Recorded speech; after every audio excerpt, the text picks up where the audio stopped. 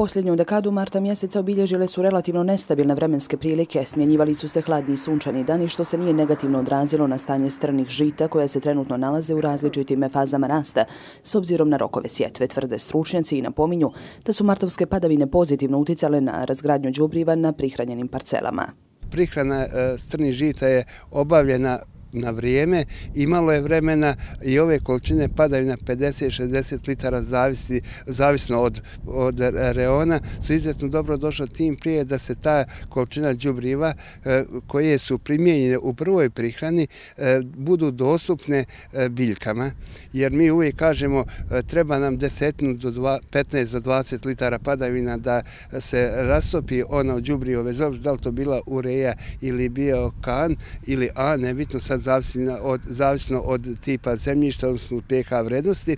Međutim, ova, to je e, izuzetno dobro došlo, a ove temperature koje sada malo variraju, nije to dobro, to, e, na neki način to biljka doživljava kao stres, mali ili šok, ajde da kažemo tako.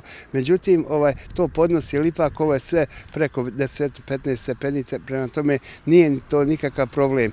U dobroj kondiciji nisu osjetljivi ječmovi koji uslijede vremenskih oscilacija nisu uspjeli odoljeti napadu bolesti koje bi se mogle proširiti i na polja pod pšenicom.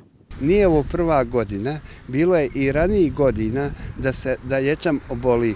I ovo može biti jedna lijepa prilika da se proizvođačima uputi ajde da kažem, kao savjet ili e, sa, sa nekog stručnog e, e, stanovišta, da povedu računa da što prije, ako postoji mogućnost, kad god budu mogli da uđu u njivu, da urade tretman. Usjevi Lucerke odlično napreduju, ocjenjuje struka, navodeći da su padavine došle u pravi čas. Možda neki slušalci neće biti zadovoljni time što imaju bujice, što možda je izlila se neka rijeka i, i tako dalje, neki potok i tako dalje.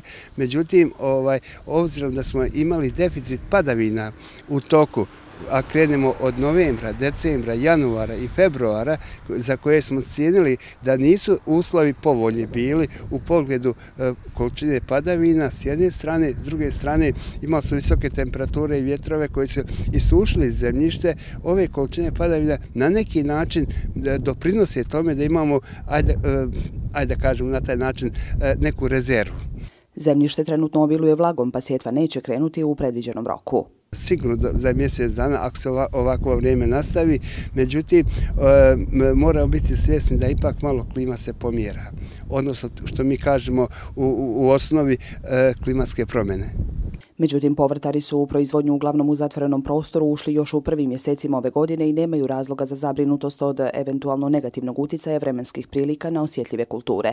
Vremenske prilike u narednom periodu će odrediti i nastavak radova u polju, a tako i datum kojim će biti ozvaničen početak proljetne sjetve.